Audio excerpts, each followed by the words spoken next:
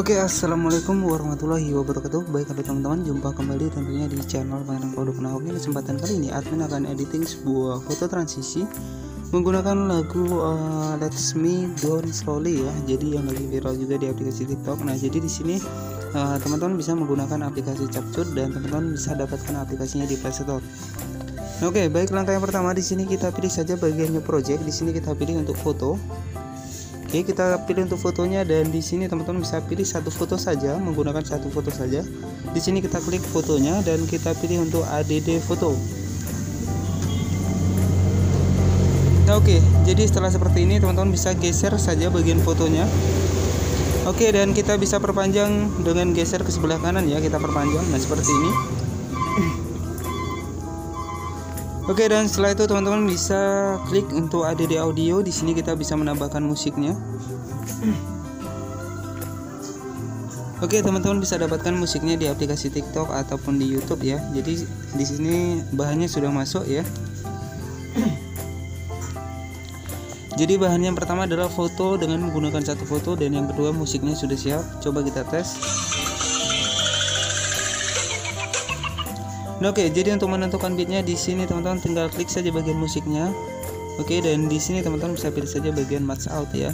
Oke, jadi teman-teman bisa diperhatikan caranya seperti ini. Kita putar bagian sini dan teman-teman bisa tentukan ADD beatnya di bagian bawah. Nah, caranya seperti ini.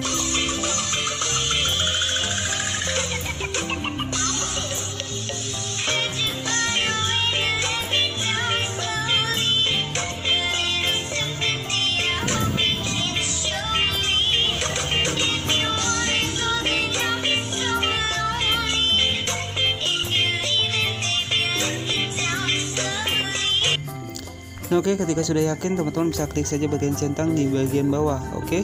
Dan ketika ada yang salah untuk bitnya, di sini teman-teman tinggal geser saja ke bagian garis putihnya. Di sini teman-teman bisa hapus dan kemudian teman-teman juga bisa ditambahkan kembali ya. Jadi sangat mudah sekali. Nah, pastikan ketika membuat suatu bit ini pastikan harus tepat ya. Karena di sini menjadi acuan ataupun patokan masing-masing potongan dari per foto ya. Jadi dari foto ini nanti akan kita potong-potong menggunakan acuan titik kuning yang sudah kita buat. Nah kita klik centang. Dan caranya adalah teman-teman bisa masuk ke bagian titik yang pertama. Nah seperti ini. Oke kita masuk ke bagian titik yang pertama. Di sini teman-teman bisa tekan fotonya dan di sini teman-teman bisa pilih saja bagian split ya. Jadi kita potong. Oke yang kedua di sini masuk ke titik yang kedua.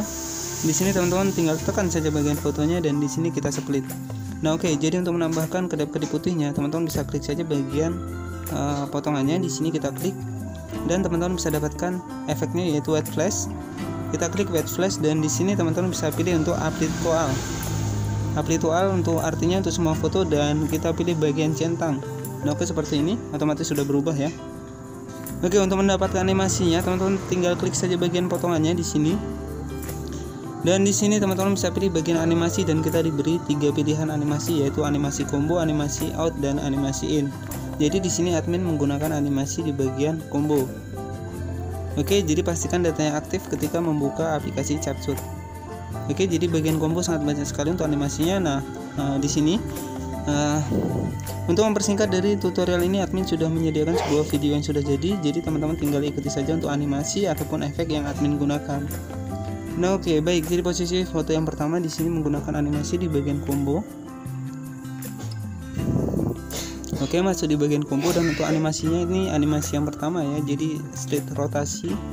Oke okay, jadi untuk foto yang pertama menggunakan animasi straight rotasi animasi di bagian pertama.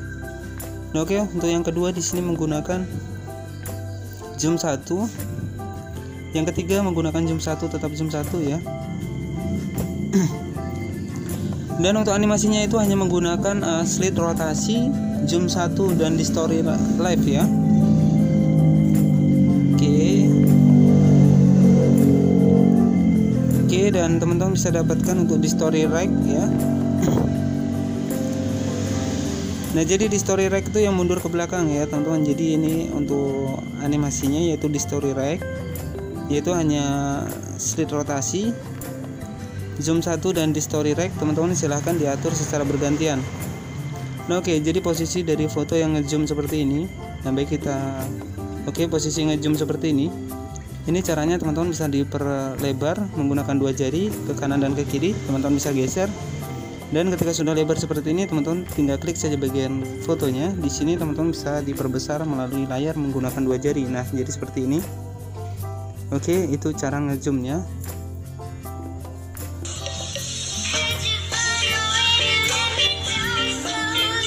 Oke, jadi begitu ya cara ngezoomnya dan untuk efek yang admin gunakan di sini. Oke, untuk bagian foto yang pertama di sini menggunakan efek scanner.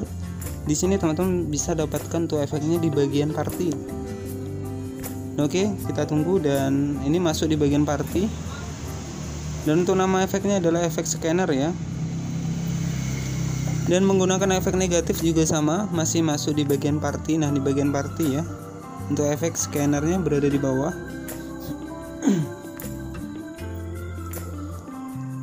Oke, uh, efek negatif maksudnya ya. Jadi efek negatif di sini menggunakan uh, masih masuk di bagian efek party, yaitu efek negatif yaitu kedip-kedip negatif seperti ini, hanya untuk menghiasi saja. Nah, untuk yang kedua di sini menggunakan efek selection. Kita klik bagian efeknya dan efeknya berada di bagian frame ya selection. Oke. Okay. jadi efeknya tuh yang ini ya teman-teman. Oke kita bawah. Oke okay, untuk efek selectionnya yang ini teman-teman bisa gunakan di bagian frame. Nah jadi efek selection tuh yang posisi foto berada seperti di kertas ya seperti ini. Itu efek selection.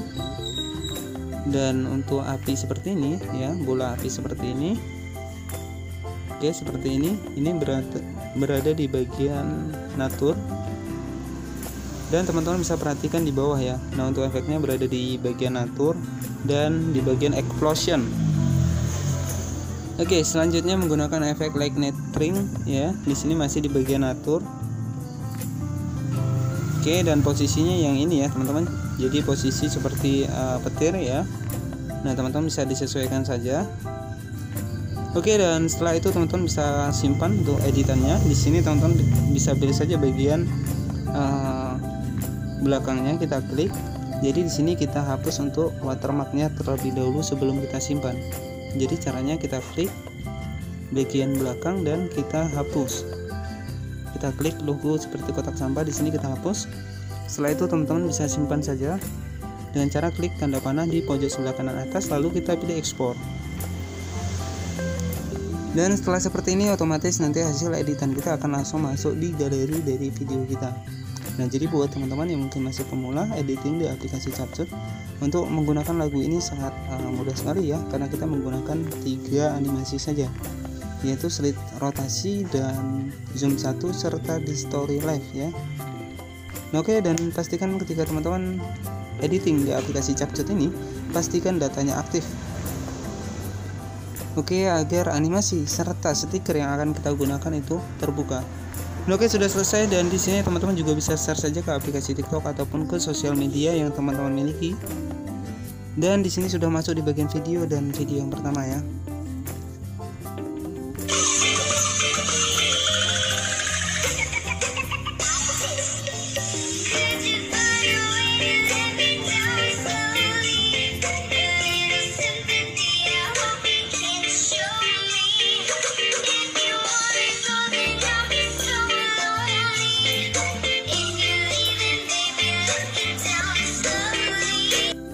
Oke, jadi untuk nama musiknya adalah Let's Me Down Slowly ya.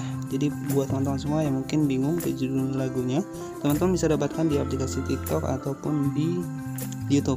Nah, oke, semoga bermanfaat ya. Cukup mudah buat editing sebuah video transisi menggunakan DJ Let's Me Down Slowly. Semoga bermanfaat. Jangan lupa untuk klik tombol subscribe dan aktifkan lonceng notifikasinya agar teman-teman mendapatkan pemberitahuan terbaru dari channel ini. Nah, oke, selamat sore dan wassalamualaikum warahmatullahi wabarakatuh.